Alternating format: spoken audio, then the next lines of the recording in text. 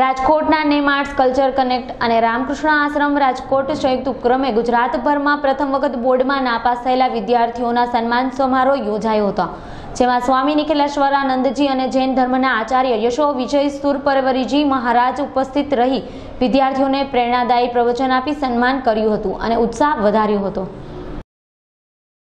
એક જે કાર્યક્રમ યોજાયો છે, એ આમ તો સારું છે, કારણ કે ઘણા બધા માણસો જે છે, એ ફેલ થયા એના માટે ઊંધું વિચારે છે કારણ કે સુસાઇડને એ છે, પણ એવું ન હોય. જિંદગીમાં એક વખત ફેલ થયા તો એવું નથી કે આખી જિંદગી ફેલ થાય આગળ ઘણા બધા ચાન્સીસ મળશે.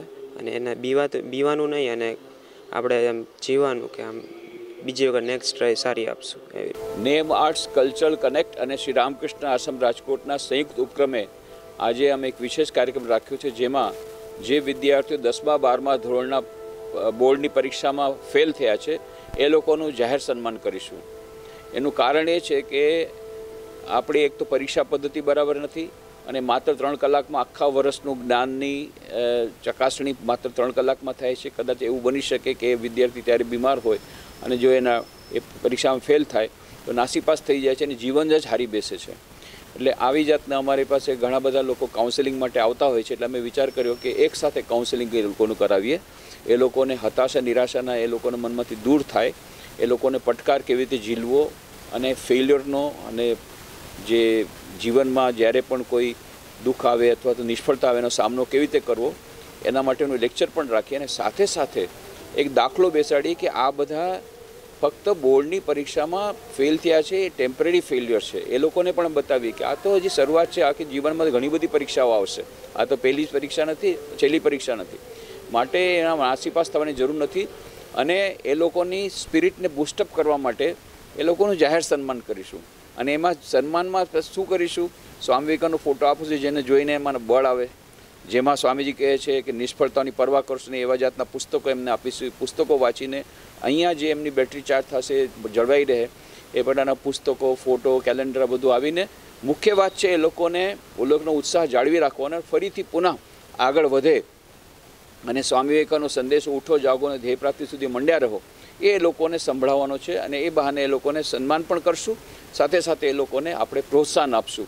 એવી જાતનો વિચાર અમે લોકો અમે લોકો પોતાની રીતે પાલન કરતા હતા અને એનું ઇન્ડિવિજ્યુઅલ કાઉન્સિલિંગ કરતા હતા. પણ આ વખતે અમારે મનીષભાઈ પારેખ આવ્યા કે આપણે જાહેરમાં સન્માનનો કાર્યક્રમ કરીએ અને મને બહુ જ ગમી ગયું કારણ કે અમે લોકો નાના પાયે તો આ બધું કરતા હતા. પણ આવી રીતે એક જાહેર સન્માન કાર્યક્રમ નહોતા કરતા એટલે આ વખતે અમે આ કર્યું છે.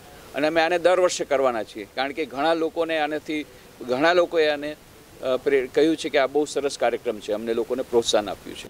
છું હું અહીંયા બહુ ઘણી બધી વાર આવી છું. અને હું જ્યારે અહીંયા આવું છું ને, મને એટલું મોટિવેશન મળે છે ને કે વાત પૂછોમાં અને જ્યારે પણ આવું છું ને, કાંઈક ને કાંઈક શીખીને જાઉં છું. અને આ વખતે મેં ન્યૂઝપેપરમાં જેવું પણ જોયું ને કે મોટિવેશન સ્પીચ છે, તો તરત જ મેં અહીંયા નામ લખાવીને હું તરત જ આવી. કેમ કે જી શીખવાડે છે ને એ બેટર ધેન બેટર હોય છે. અને આપણે જે શીખીએ છીએ ને આ જે સ્વામીજી કહે છે ને એ બધું પરફેક્ટ હોય છે. અને એવું નથી ફેલિયર છે તો અમે અમે કાંઈ નહીં કરી શકીએ. સ્વામીજી પહેલાંય કીધું હતું કે છે ને એવું કાંઈ નથી. આપણે લાઈફ આપણી રીતે જીવવાની છે. પણ સ્ટ્રગલ કરવાનું અને આપણે એનું ફળ પણ મળશે. નમસ્કાર, મારું નામ મનીષ પારેખ છે. નેમ આર્ટ્સ કલ્ચરલ કનેક્ટ નામની અમે સંસ્થા ચલાવીએ છીએ. એનો મૂળ હેતુ છે કે સમાજમાં જ્યાં ક્યાંય સમસ્યા છે કલ્ચરની બાબતમાં, સંસ્કૃતિની બાબતમાં કોઈ સમસ્યાઓ બીજી કોઈ હોય, વિદ્યાર્થીઓની આર્થિક, સામાજિક, તો એ બધામાં કેવી રીતે અમે સેતુ બની શકીએ? તો ઘણા વખતથી રાજકોટમાં એવું બની રહ્યું છે કે રાજકોટ બીજી બધી રીતે તો આગળ છે, પણ આત્મહત્યામાં પણ સમગ્ર દેશમાં વસ્તીની સરખામણીમાં ત્રીજા નંબર પર છે. ઘણી બધી વખત વર્તમાન પત્રોમાં એના અહેવાલો પ- પ્રસાદ થયા છે. અને એ વસ્તુ સૌથી વધારે પીડાદાયક હતી. અને એમાં વિદ્યાર્થીઓ અને ખાસ તો અઢારથી ચાલીસ વર્ષની વયના લોકો વધારે આત્મહત્યા કરે છે. વિદ્યાર્થીઓનું પ્રમાણ ખૂબ વધારે હોય છે. અને જ્યારે એક્ઝામ નજીક, એક્ઝામનું રિઝલ્ટ નજીક આવવાનું હોય, ત્યારે આવા બનાવો વધારે બનતા હોય છે. એટલે થોડું અમે વિચાર્યું કે એવું કયા કારણોસર થાય છે. તો મોટેભાગે એવું બનતું હોય છે કે ટકાવારીનું પ્રમાણ ખૂબ વધારે હોય. એમાં જો થોડા ઘણા ઓછા ટકા આવ્યા અથવા તો માતા પિતાની અપેક્ષા પૂરી નહીં પડે એવું લાગે, ત્યારે વિદ્યાર્થીને એવું થાય છે કે ભાઈ આત્મહત્યા કરવું. અને ઘણા બધા કારણો હોય છે. કેટલા અત્યારે ઘણા બધા ડિસ્ટ્રેક્શન્સ છે. તો એમાંથી વિદ્યાર્થી ત્રણ કલાકમાં બધી એક્ઝામ ન પૂરી કરી શકે એક સાથે આટલા વિષયની. તો એ હતાશ થઈ જતા હોય છે. પણ એવા કેટલા બધા કિસ્સાઓ છે. ઘણા બધા ફોન આવ્યા કે જે લોકો બારમા ધોરણ કે દસમા ધોરણની પરીક્ષામાં ફેલ થયા અને પછી ખૂબ આગળ નીકળ્યા હોય.